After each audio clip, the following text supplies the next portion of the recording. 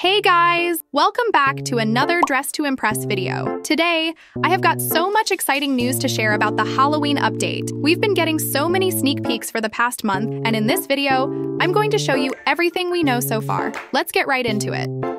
The Halloween update is coming out very soon, either on the 12th or 19th of October, which is right around the corner and super exciting. First, let's talk about the three new game passes we are getting.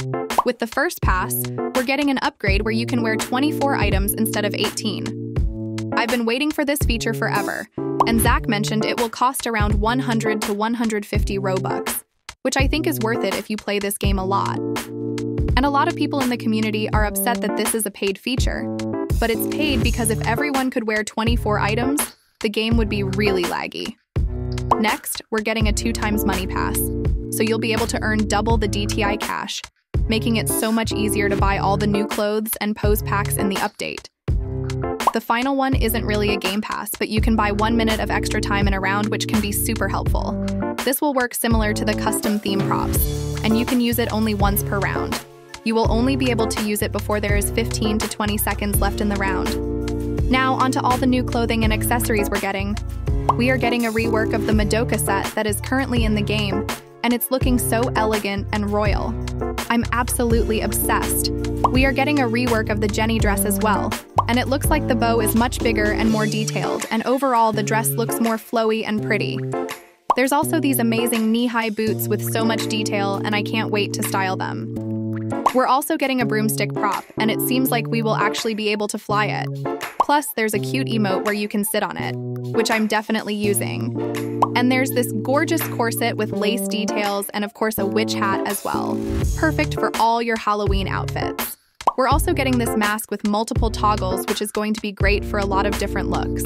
And there's this adorable cocktail hat accessory that will be super cute for some themes. It looks so delicate and dainty, I absolutely love it. There's also this really cute top that's going to make you look absolutely snatched. We are getting this super cute notebook and camera, which I think should be added as a toggle to the ones that we already have. We also have this really cool hat with a lot of beautiful details. And for all the Decora lovers, we are finally getting these adorable Decora hair clips. We are also getting these antler head accessory, which is going to be a VIP item, and Zach mentioned that VIPs are getting fed in this update. But don't worry, non-VIPs are getting lots of love too. And yes, we're finally getting some cat ears and a moving tail, which is so exciting. We will likely also get all the remaining toggles that we missed in Umoye's code item. We're getting some new patterns for clothing, which look incredible, and this isn't even all of them. We have a mix of both spooky and some really cute patterns as well. The designer also mentioned we will be getting monster-inspired patterns, which is so cool. And looks like we are getting a pastel rainbow pattern as well. OMG. I know I'm going to be using these a lot. There might be a new developer code and possibly a new Robux item. We are also getting a cape, and it won't be a code item. And guys, we're getting over 30 new hairstyles in this update.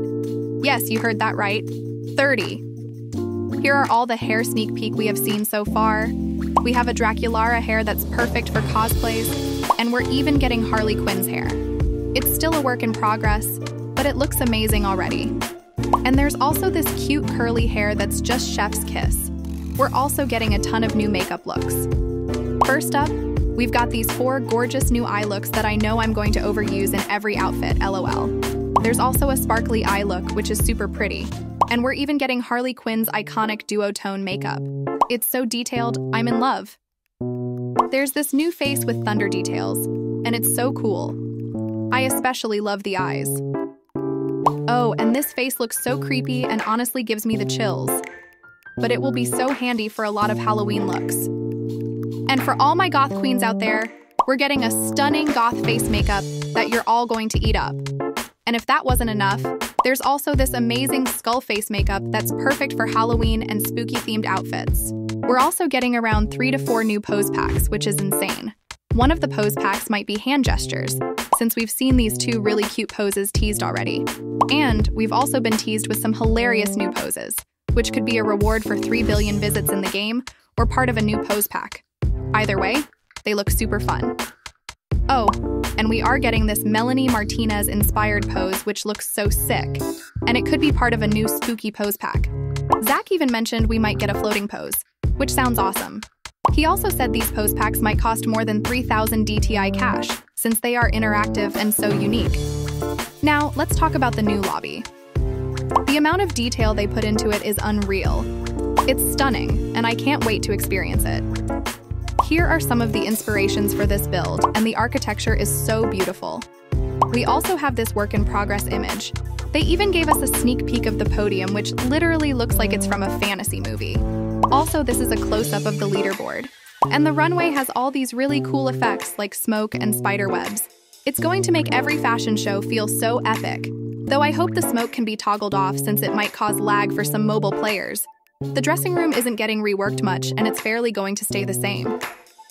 Owen teased us with this work in progress picture where we can see some pumpkins and spider web details. During one of Owen's streams, he showed us some new obbies that we'll be getting. What's cool is that the obbies will now have difficulty levels easy, medium, or hard. That's going to make things much more fun and challenging. Now, on to the Lana lore quests. This is going to be huge. It's a three part quest, and we've already seen some pictures and footage of what to expect. The quests are going to be a little scary, but you can toggle off the jump scares, which is nice. This is what the lobby for it looks like, and it seems like we will need 8 or 12 players to enter the quest. And I have to say this looks massive compared to the DTI bodies, and honestly looks so cool and spooky. Part 1 of the quest is going to take place at Lana's childhood home, where we'll have to find our way back through the forest before it gets dark. It sounds so fun, but also kinda spooky lol. We even got a look at Lana's parents and her childhood self. Lana looks so cute here. We have some pictures on how the house will look like.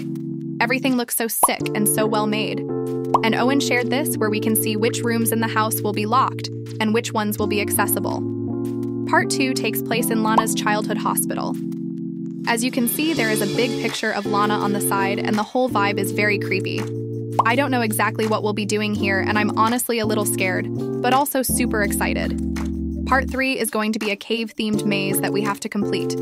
They even gave us a little cheat sheet for how to finish it, which I'm sure will come in handy. There's also going to be a special prize for completing all three quests, which makes it even more exciting. That's all the updates I have for you guys today. It's a lot to take in, but this Halloween update is going to be huge, and I can't wait to experience it with all of you. If you enjoyed this video, make sure to give it a thumbs up, and don't forget to subscribe so you don't miss out on any future Dress to Impress content. I currently have a permanent VIP giveaway going on in my channel. I will link the video in the decision where you can comment to join the giveaway. Good luck to all of you, and if I reach 100,000 subs by the end of this year, I will do a massive giveaway on my channel, so stay tuned. I've got so much fun content planned for Halloween as well, and I'll see you again soon. Bye bye. Thank you.